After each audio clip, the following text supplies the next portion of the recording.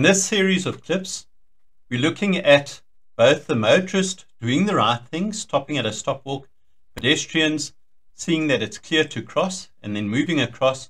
But where the danger arises is that a vehicle comes up from behind and now rear ends the vehicle ahead of it and knocks that vehicle across the crosswalk.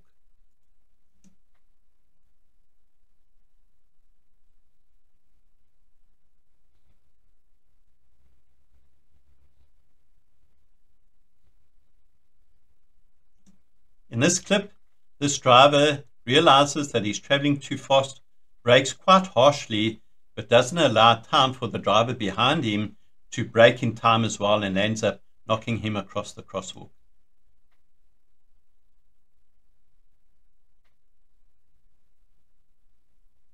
In this real life clip, same sort of thing, uh, vehicle being rear-ended, but the vehicle in front that is being rear-ended the angle of the vehicle changes, and although these pedestrians aren't in this location on the crosswalk, because the angle of the vehicle had changed, actually lands up knocking them down.